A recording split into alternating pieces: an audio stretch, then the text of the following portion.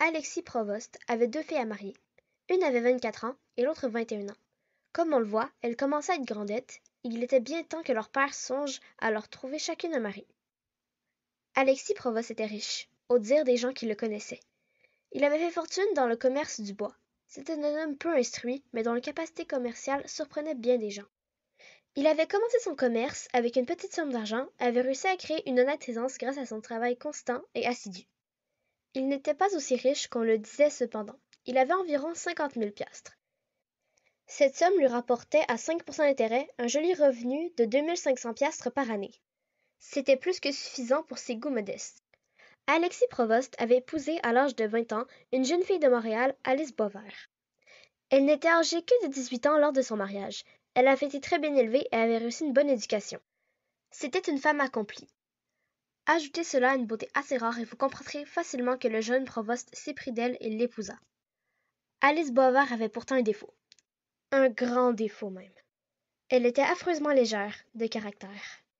Des ennemis de la plus belle partie du genre humain ont prétendu que la légèreté était un défaut inné chez les femmes. Je ne serais pas aussi sévère qu'eux, mais je dirais que malheureusement, la chose se rencontre souvent. Alice Boisvert, fille, comptait fleurette à tous les garçons qu'elle rencontrait. Elle était gaie, rieuse, et aimait à batiner. Partout où elle allait, on pouvait être certaine que l'amusement ne manquerait pas. Un beau jour, sa gaieté disparut comme par enchantement. On se demandait ce qu'elle pouvait avoir. Mais personne ne réussit à découvrir le secret de ce changement subit. Quelque temps après, on apprenait le mariage de la jeune fille avec Alexis Provost. Le secret était découvert. Malgré toute sa légèreté, Alice avait compris l'importance de l'acte qu'elle allait faire. Le jour de son mariage, la jeune fille recouvra toute sa gaieté. Cependant, devenue femme, elle avait mis un frein à sa légèreté et son mari n'eut jamais lui faire le moindre reproche. Au moment où commence notre récit, Alice Provost est père de deux filles. La plus âgée, qui avait 24 ans, se nommait Alice, la plus jeune, qui avait 21 ans, Artemis. Ces deux jeunes filles ne se ressemblent en aucune manière. L'aînée était blonde et la plus jeune brune. Alice avait la gaieté folle de sa mère. Artemis était sage et réservée comme son père. Elles s'aimaient toutes les deux bien cordialement. Jamais de disputes, jamais la chicane. Disons de suite que les désirs d'Alice étaient des ordres pour Artemis et que cette dernière obéissait à la moindre caprice de son aînée. Les deux filles étaient libres de leurs actions. La mère, qui se rappelait son jeune temps, prétendait que la jeunesse doit s'amuser. Ces filles ne pensaient pas un soir sans assister à une soirée quelconque. Madame Provost préparait elle-même leur toilette. Ce n'était pas elle qui allait avoir les plus vilains costumes. J'ai oublié de dire qu'Alexis Provost demeurait à Montréal et qu'il fréquentait la meilleure société. Aussi les balles ne manquaient pas pour les deux jeunes filles. On sait que dans la grande société, il est de rigueur que chaque famille donne un bal dans le courant de l'hiver. Le père conduisait parfois Alice et Artemis à ces réunions, d'autres fois c'était la mère qui les accompagnait. On se rappelle sans doute de l'arrivée d'un grand personnage au Canada, il y a quelques années de cela, et le fameux bal donné lors de son passage à Montréal. Un grand nombre d'invitations furent lancées et, comme Alexis Provost occupait une certaine position dans la société montréalaise, il fut invité à assister à ce grand bal avec son épouse et ses deux filles. C'était une occasion favorable pour exhiber des filles à marier. Alors, on accepta l'invitation de grand cœur. Alice et Artemis ne rencontreraient-elles pas dans cette réunion des jeunes gens dignes de les épouser? Il fallait une toilette neuve et de circonstance. Madame Provost se prépara à se la procurer digne de son rang. Alice était dans la jubilation, Artemis, au contraire, se révoltait à l'idée d'assister à ce bal, surtout dans le costume exigé. Il est bon de dire qu'il était spécifié sur les invitations que les dames devaient porter des robes décolletées et à manches courtes. Le grand personnage tenait, paraît-il, à inspecter les beaux coups, les jolies épaules et les charmants bras de nos Canadiennes. Il croyait peut-être trouver du sang de sauvage chez quelques-unes d'entre elles. La peau de ces dames ne doit pas avoir la blancheur de celle des blondes de filles d'Albion. Se serait-il dit, j'en aurais la certitude. On comprend ce que cette obligation de décolletage avait d'insultant pour nos bonnes Canadiennes. Toute femme qui a un reste de pudeur devrait se sentir humiliée d'un semblable affront. La presse de Montréal, du moins la presse canadienne, fut presque unanime à condamner la conduite de celui qui avait dicté la toilette des dames. Aussi, je dois le dire à l'honneur de notre race, il y a eu désapprobation presque générale de la plupart des dames canadiennes. Je dis presque, car malheureusement, il y en a eu quelques-unes qui ont le courage d'aller exhiber leur peau devant le grand personnage en question. Au nombre de ces dernières se trouvaient Madame Provost et ses deux filles. La toilette des jeunes filles était indécente au suprême degré. Celle d'Alice surtout était tellement décolletée que son père ne put s'empêcher d'en faire la remarque. Malheureusement, il était trop tard pour la changer et elle se rendit au bal dans cet accoutrement. Il y avait déjà un grand nombre d'invités de rendus lorsque la famille Provost fit son apparition dans la salle du bal. C'était en partie des Anglais et des Anglaises, des Écossais et des Écossaises et quelques Canadiens et Canadiennes. Le bal commença. Valse, quadrille, polka, mazurka, lancier se succédaient avec un entrain diabolique. Alice faisait partie de toutes ces danses.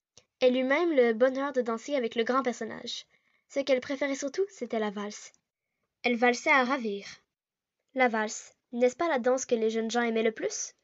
Est-ce parce qu'elle est plus jolie que les autres, ou bien est-ce parce qu'elle est condamnée et défendue par l'Église? Ce sont autant de points que je n'essayerai pas d'éclaircir. Vers onze heures, un nouveau personnage faisait son apparition dans la salle du bal.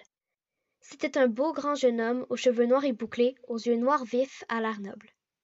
Un quart d'heure après son entrée, il se trouvait auprès d'Alice Provost et engagea la conversation avec elle au grand désappointement des autres filles. Il parlait admirablement bien le français. Sa voix était douce, mielleuse même.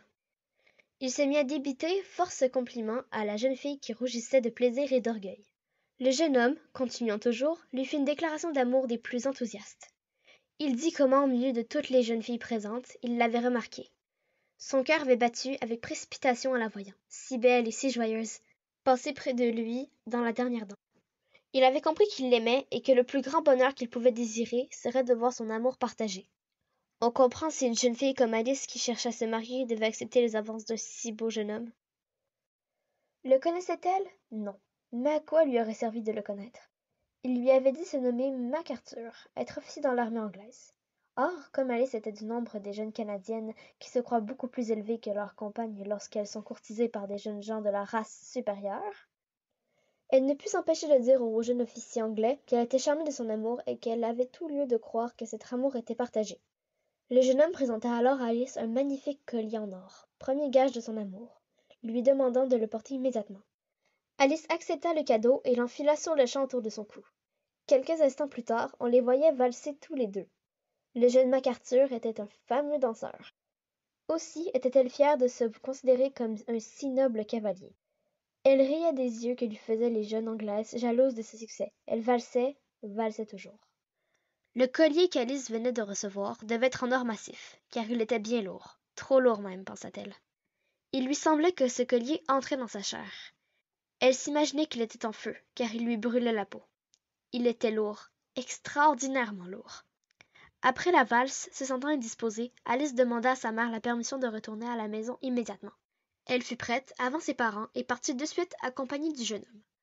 Alexis Provost et son épouse parlaient en se rendant à leur demeure du magnifique résultat qu'avait eu pour Alice ce fameux bal. Ils grondaient même Artémis qui les accompagnait, seule, parce qu'elle n'avait pas pu s'attirer les avances de quelques-uns des jeunes gens qui se trouvaient à cette réunion. Cette pauvre Artémis, elle avait passé la soirée dans son coin, seule, regardant de nombreux danseurs et danseuses qui passaient devant elle.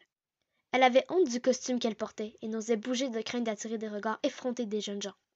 Elle songeait au mal qu'elle occasionnerait si on la voyait, et, comme elle était bonne et pieuse, elle demanda à Dieu d'éloigner toutes les occasions qui la mettraient en évidence. À part la honte que lui faisait éprouver son costume, Artémis se sentait le cœur triste. Il lui semblait qu'un malheur pesait sur sa famille. Dieu, se disait-elle, ne peut laisser impuni tant de péchés, et ce sera sur nous, catholiques, qui retombera sa colère. Lorsque sa mère lui reprocha d'avoir manqué une magnifique occasion de se trouver un mari, Artémise lui dit simplement Attendez. La manière dont il fut dit, plutôt que le mot lui-même, impressionna vivement monsieur et madame Provost, sans trop savoir pourquoi ils hâtèrent le pas. Comme ils demeuraient à peu de distance de l'hôtel dans lequel s'était donné le bal en question, ils arrivèrent bientôt à leur résidence. En entrant dans la maison, un spectacle affreux, inouï se présenta à leur vue. Alice était étendue, morte sur le plancher, les yeux presque sortis de leurs orbites, les cheveux droits sur la tête. La figure, les mains et le corps tout entier étaient complètement noirs, comme s'il avait été carbonisé. Le collier qu'elle avait sur la poitrine qu'elle avait mis plus tôt était entré dans sa chair. Ce n'était pas de l'or, mais du fer rougi. La maison tout entière était remplie d'une odeur de chair grillée. Chose épouvantable, le jeune homme qui avait fait sa cour à Alice était Satan, le roi des enfers en personne. La jeune fille s'était donnée à lui. Il avait emporté son âme et avait laissé son corps dans l'état pitoyable dans lequel on le trouvait. En voyant son enfant dans un état aussi affreux, Alexis Provost fut frappé d'apoplexie et mourut quelques jours plus tard. Madame Provost, atteinte d'aliénation mentale, voit à tout moment sa fille qui l'accuse d'être la faute de sa mort.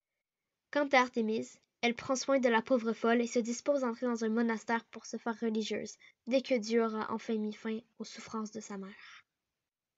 Fin